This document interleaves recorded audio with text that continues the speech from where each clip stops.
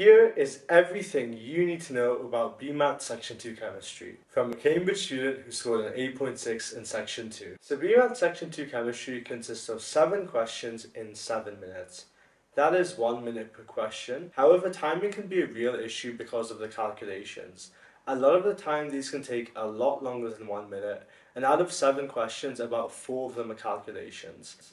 The other three questions are generally knowledge from the BMAT Section 2 Assumed Knowledge Guide, but one thing I've noticed is that they seem to really love electrolysis, so I'll definitely revise this topic specifically. Now in terms of my tips for doing well on BMAT Section 2 Chemistry, my first tip is learning the formulae through their principles and concepts instead of learning the formula triangles that you use at GCSE. The reason is this first of all makes it a lot easier to deal with and second of all avoids you getting muddled up when you're trying to rearrange formula in less than one minute. So I'll give you an example. The formula that number of moles is equal to mass divided by mR can instead be thought of as the fact that one mole is an amount. It's a certain number of particles of a material one mole of each material is going to have a standard weight. For instance, one mole of carbon atoms has a weight of 12 grams. Therefore, whatever weight you're given in the question, you're comparing to that standard of one mole. So if you have 3 grams, 3 is a quarter of 12, so you have 0.25 moles of carbon. Another similar example and way of thinking about this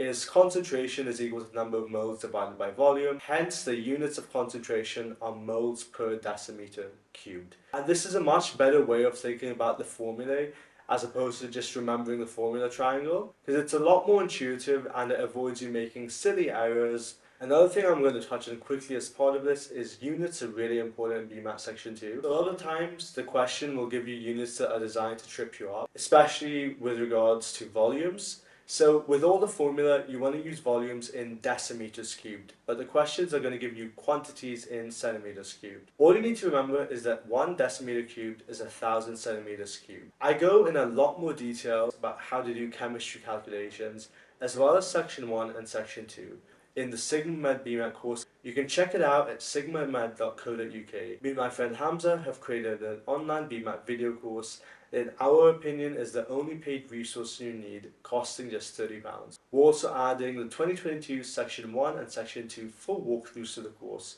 so honestly, it is really worth it if you're preparing for the BMAT this year. My second tip for acing BMAT Section 2 Chemistry is working in fractions as much as possible, similar to the advice I gave for math. Again, what you want to look for is you want to look for powers of 10 and powers of 2 differences between the numerator and denominator of the fraction. With BMAT Chemistry, the numbers are always going to be nice if you follow this method, and if you're doing long division, you've probably gone wrong somewhere. So working in fractions can allow you to spot these things really easily and in my opinion this is the main key to doing really well in BMAT section 2 chemistry calculation questions. A quick example is if you have 0.17 grams of something and its MR is 34 grams 17 is half of 34 and 0.34 is 1 a hundredth of 34 so therefore, the fraction 0.17 over 34 is going to become 1 over 200 by noticing the fact that 17 is half of 34. If you're not working in fractions, you'd be trying to do 0.17 divided by 34 by long division, which sounds like an absolute nightmare to me. So my next tip is going to be about balancing equation style questions. In most BMAT papers I've looked at, there's usually one of these. And in my opinion, if you can't get it within about 10 seconds, I would guess it and come back to it if you have time at the end. Because these can be really time consuming. So I'm going to give you guys my method to doing these questions that I think is a bit quicker. What I like to do is I like to look for what I call a limiting factor term. This is a term that doesn't have a mole number behind it and then I use that to find the other mole numbers and from there I create a balance table for each atom and then it's just a case of trial and error. That's my general method for balancing equation type questions but again I'd only do this if you have time at the end because there's usually only one of these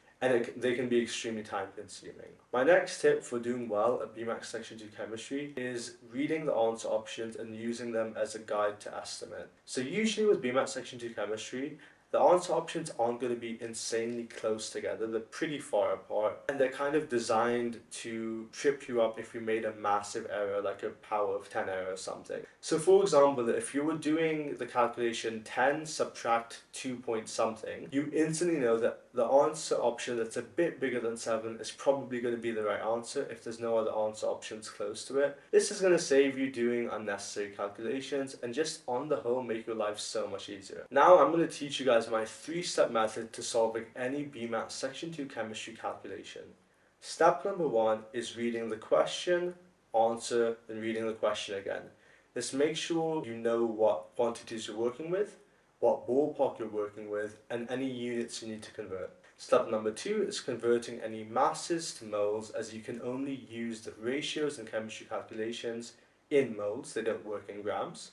And then step number three is using the units in the question to figure out which formula you're going to need and remembering to incorporate my first tip, which is using the formula based on their principles as opposed to just simply remembering formula triangles.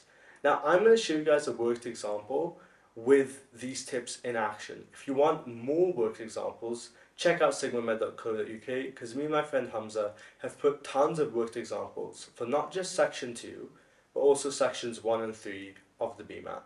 4 grams of calcium hydroxide was added to 200 centimeters cubed of water at room temperature. The mixture was stirred until no more solid dissolved.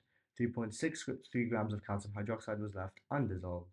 What is the solubility in moles per decimeter cubed of calcium hydroxide at room temperature? So we started with 4 grams, we're left with 3.63 grams, meaning that 4 minus 3.63 is equal to 0.37 grams that did dissolve.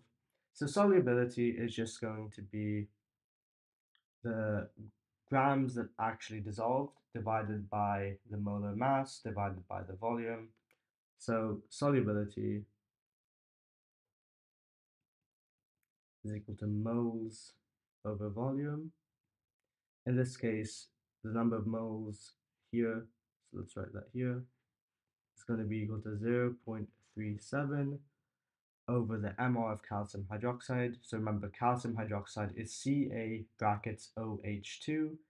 So it's going to be 40 plus 2 times 17, which is 40 plus 34, which is 74.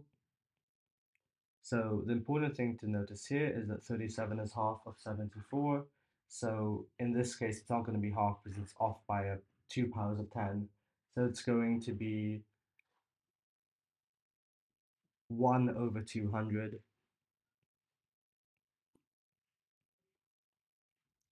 And in terms of volume, 200 centimeters cubed is one fifth of a decimeter cubed.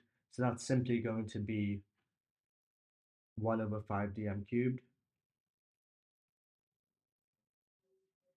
So the solubility is going to be 1 over 200 divided by 1 over 5, which is simply 5 over 200, which is going to be equal to 2.5 over 100, which is going to be equal to 0 0.25, 0 0.025 moles per decimeter cubed.